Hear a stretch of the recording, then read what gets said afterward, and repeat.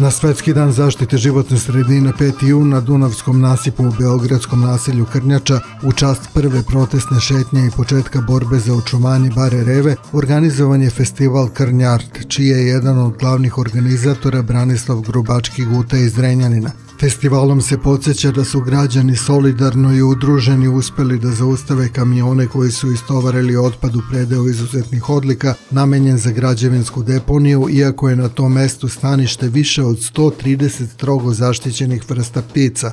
Festival Krnjar su organizovali pokret Novi optimizam, udruženja građana Bela Čaplja 1165 i komšija Krnjača, Nacionalne ekološke asocijacije NEA i građanske inicijative. Festival Krnjart je nastao iz uh, protesta grupe građana na Revi, znači ovde u Komšiluku na par kilometra odavde je, je famozna i čuvena bara Reva koja je uh, bila zatrpavana i šuma oko nje uh, šutom iz a, Beograda i protivpravno i protivzakonito. Ljudi su se organizovali, okupili i napravili su jedan od najčuvenijih protesta prošle godine. Iz toga je mnogo stvari proizašlo, a proizašao je i ovaj festival.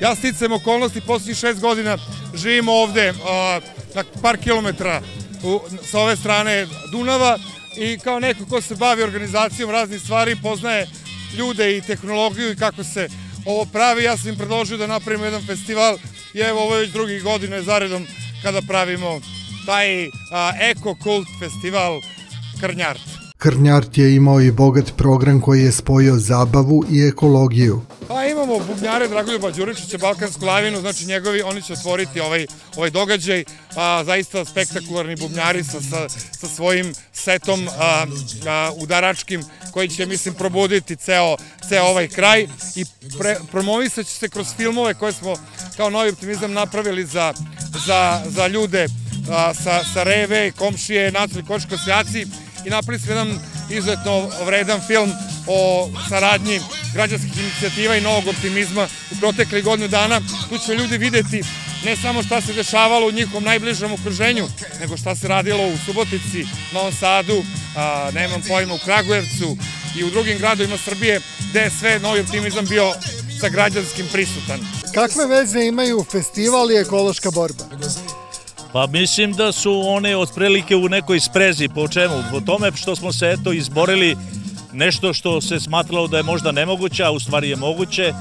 I spasili smo to što je trebalo da spasimo kvalitetno i dobro, a s druge strane ovo je simbolika koja govori nam kako može lepo da bude ovaj život na ovim prostorima, što sam ja jednom prilikom i rekao da je ovo bila neka bajka i ovo priroda sama Tako da sada je ovo dokaz kako može ovde lepo da se živi i da se boravi na ovom prostoru.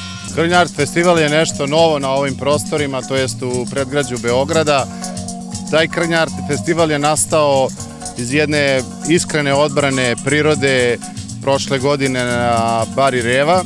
Tu su se upoznale razna udruženja i organizacije.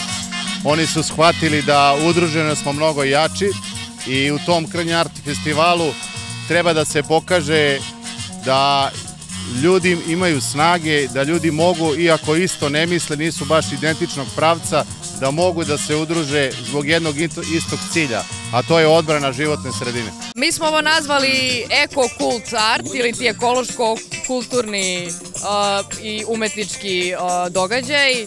Cilj ovoga događaja je da se prosto neka manifestacija dešava na levoj obali Dunava, da to postane tradicija, da ovim ljudima pružimo korisne informacije što se tiče ekologije, infrastrukture, a, takođe i da imaju opet neki kulturno-zabavni program i sadržaj, pošto ga sa, na levoj obali slabo ima.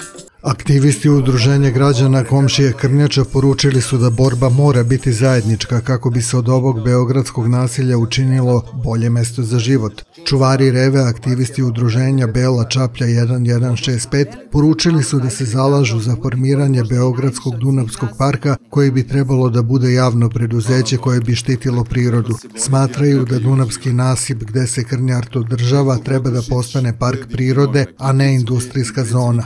Programska Gradska direktorka građanskih inicijativa Bojana Selaković je navela da je Reva pokazatelj koliko su lokalne inicijative zaista važne. Predsednik nezavisnog udruženja novinara Srbije Željko Bodrožić se zahvalio borcima za Revu na tome što su pokazali Srbiji kako se bori za svoj kraj, te da će se taj pelcer borbe proširiti drugde. Jedan od osnivača NEA Milenko Jovanović je naveo da se vazduh u Beogradu nalazi u trećem stepenu zagađenosti, a da se i ne radi da se to poboljša. Ocenio je da se građani zamajavaju nepotrebnim projektima i da je zakon potpuno anuliran, te da država štiti zagađivače, a ne građane.